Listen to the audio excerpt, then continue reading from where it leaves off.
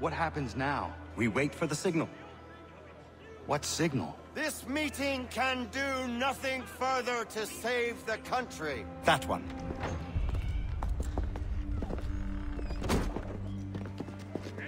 Evening, gentlemen. Shall we be off? No. What's the matter? I have spent today drawn from one bit of madness to another with nothing to show for it. Before I go any further, I would like to know exactly what it is you intend. Of course. First, we make our way to Nathaniel Bradlee's house to fetch the rest of our little group. Then it's on to Griffin's Wharf, where we board the ships and dump the tea. Simple as that. Simple seems a bit charitable. Cheer up, Connor. For tonight, we are all victors. The Sons of Liberty get to send a message to England, and you rob William Johnson of his financing. Your village will be saved. I've an idea. Why don't you lead the way? That should keep us out of any further trouble. Am I right?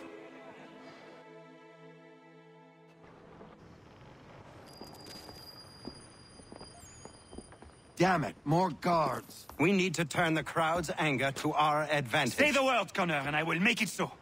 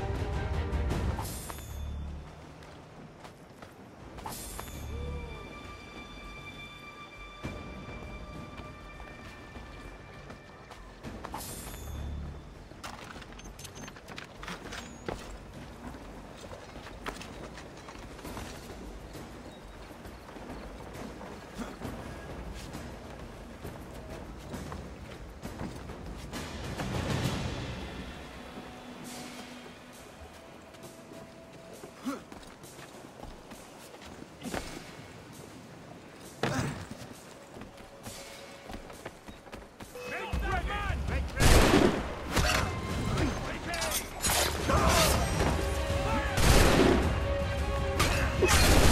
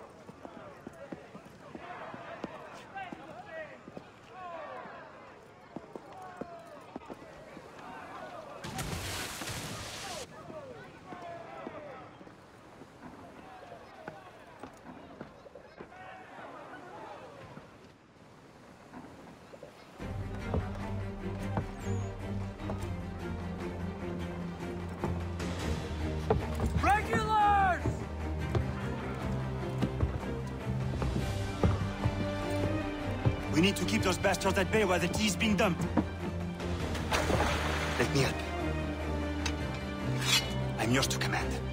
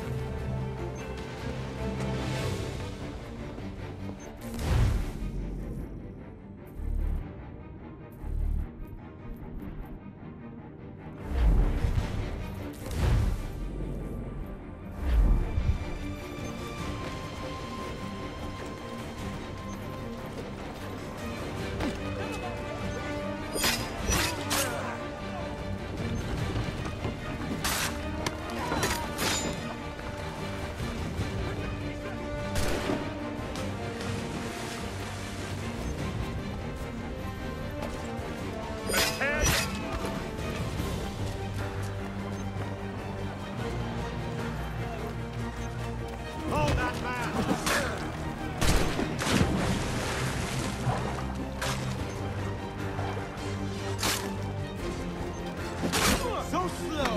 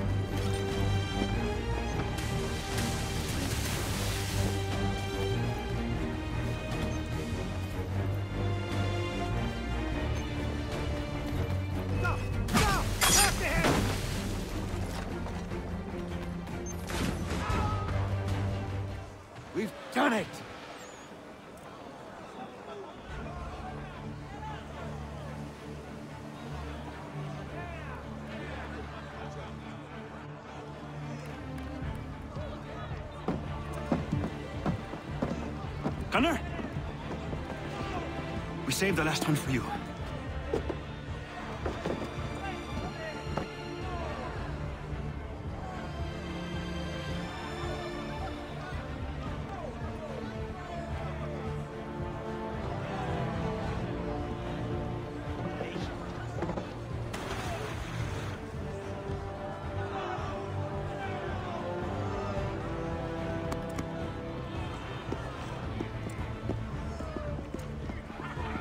We get out of here,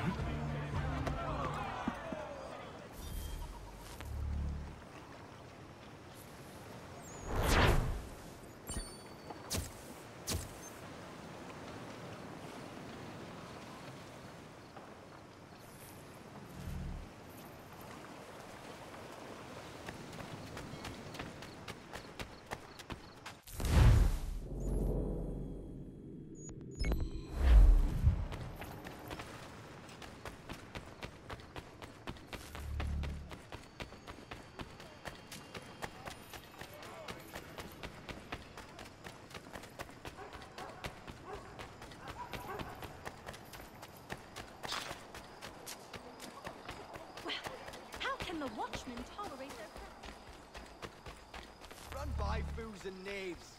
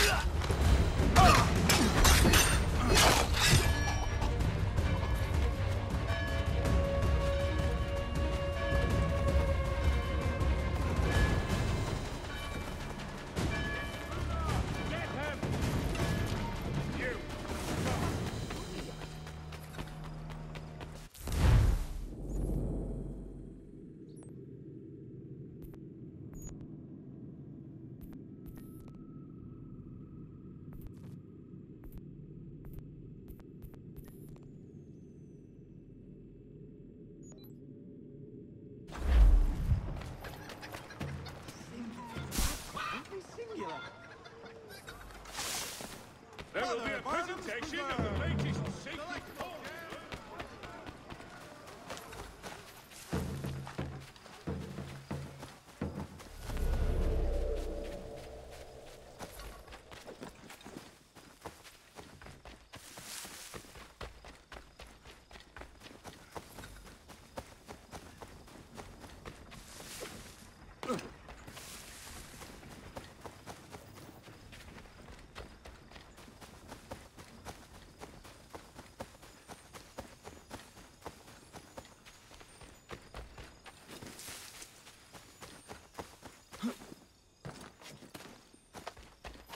Hold a moment.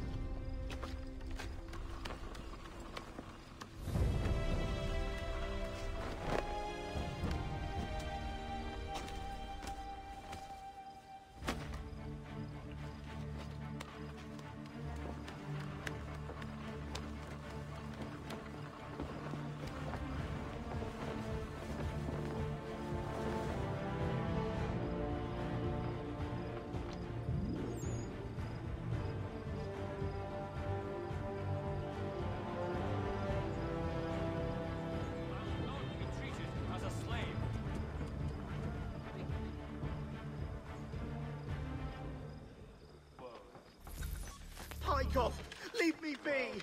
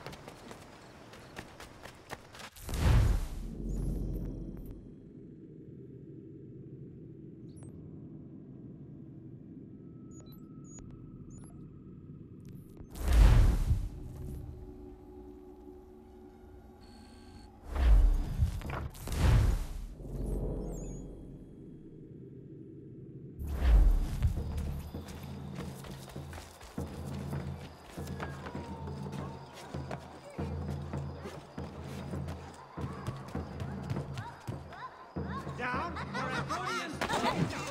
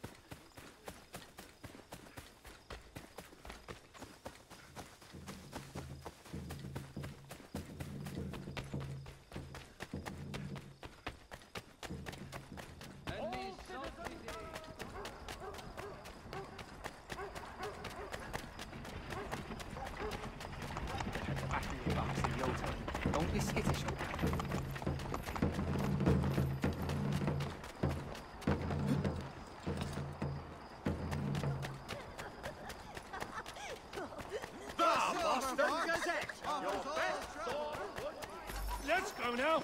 Keep up. Keep your distance.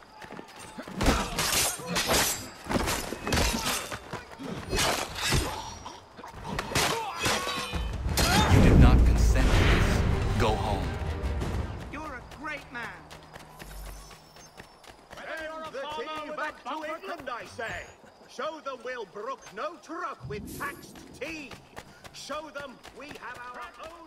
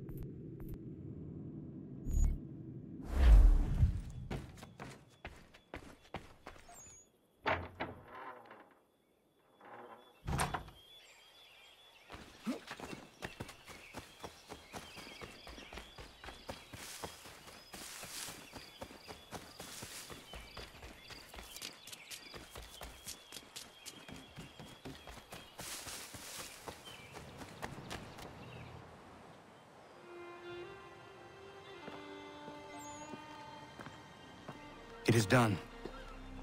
Johnson is dead? No. He retreated when we destroyed the tea.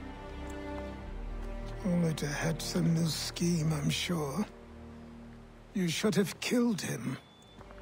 There was no need. Time will tell if you speak the truth. Ratonhnhaké:ton!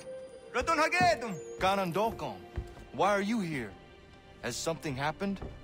William Johnson has returned with all the money required to buy our land. He meets with the elders as we speak. I have begged him to resist, but I fear he shall have his way unless you intervene. How is this possible? We destroyed the tea. The Templars are nothing if not resourceful. You should have heeded my warning. Please, you have to stop him. Of course. Can you tell me where they're meeting?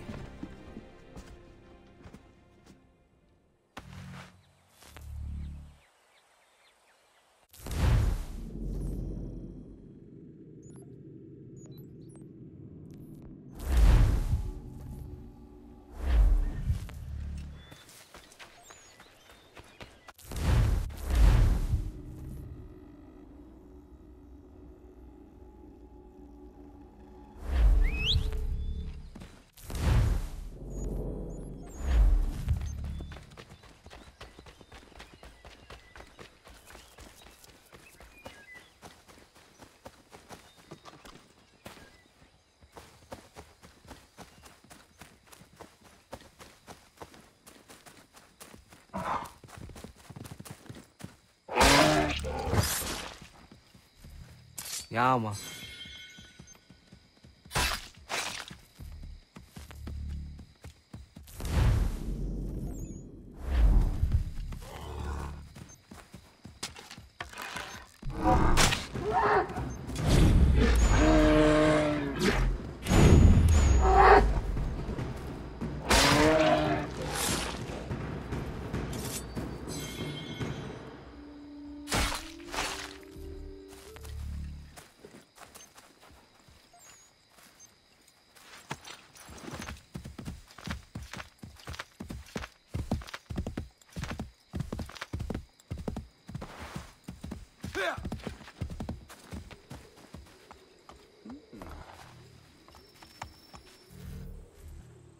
Zina ganya daradit ganus de ne Johnson zun ja der rocksta. Gwahi ganzi wat ne ganun haradun hagedum. Ta gwa der hardat gwa ganto.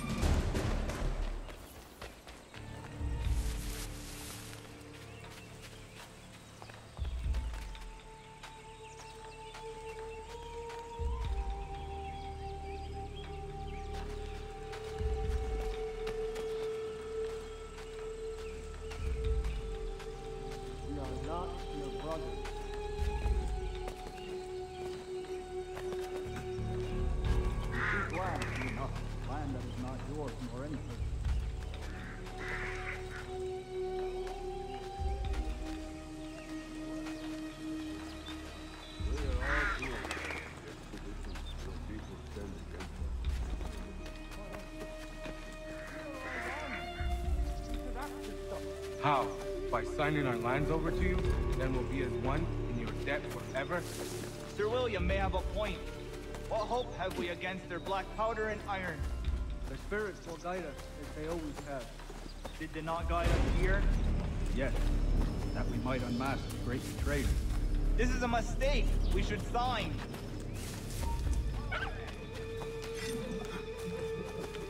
You will not accelerate.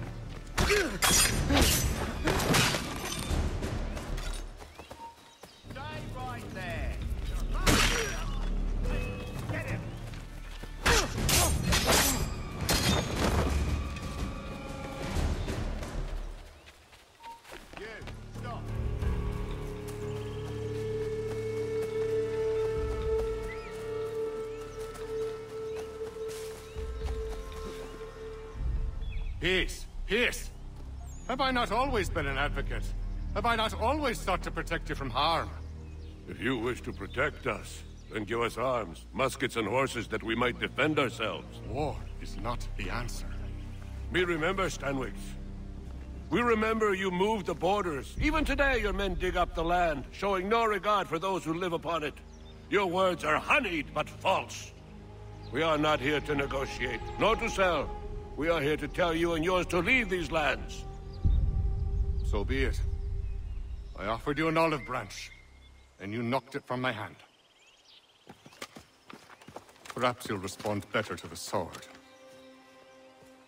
Are you threatening us? Yes.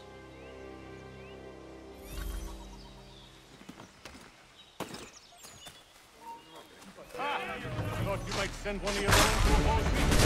Wrong way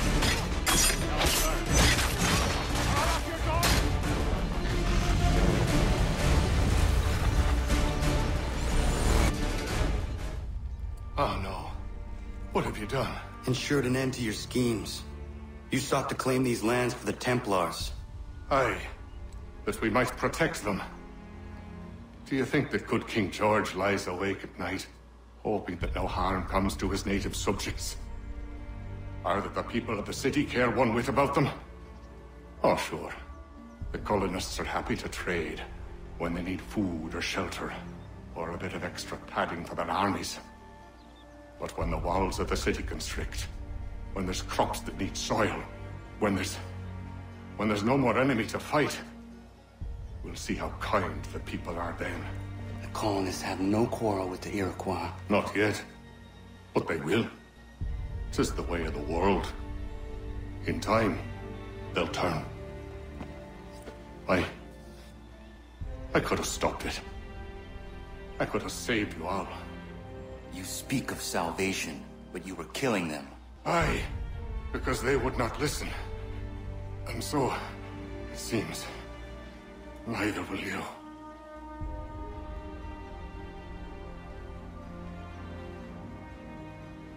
Ayawas na yate hagum sare am dahyayu neskanas izagum haje.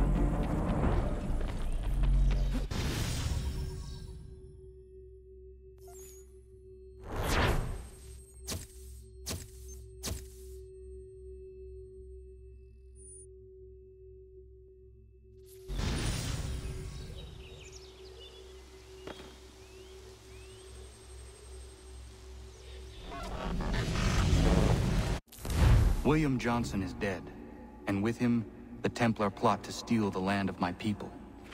But in ending this threat, I have revealed another. On his body was a letter addressed to John Pitcairn containing orders to root out and destroy Patriot weapons and supplies.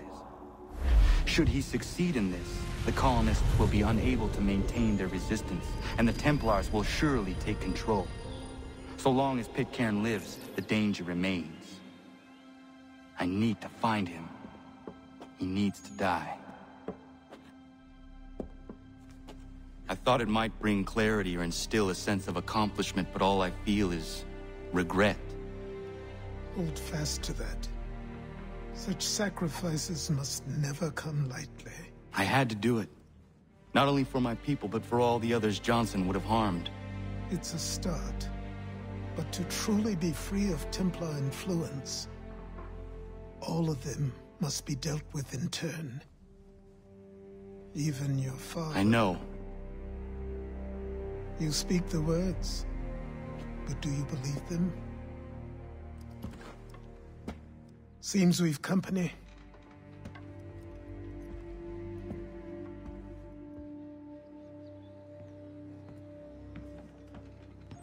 What is it? A request for aid from Paul Revere. Seems the Redcoats are up to something in Boston. Guess you made an impression on the Sons of Liberty. They mistake me for one of their own. Please tell Mr. Revere he has my sympathies, but I cannot help at present.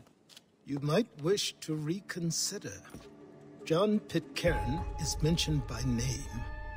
Where am I to go? Mr. Revere's house in Boston. If you'd like, I can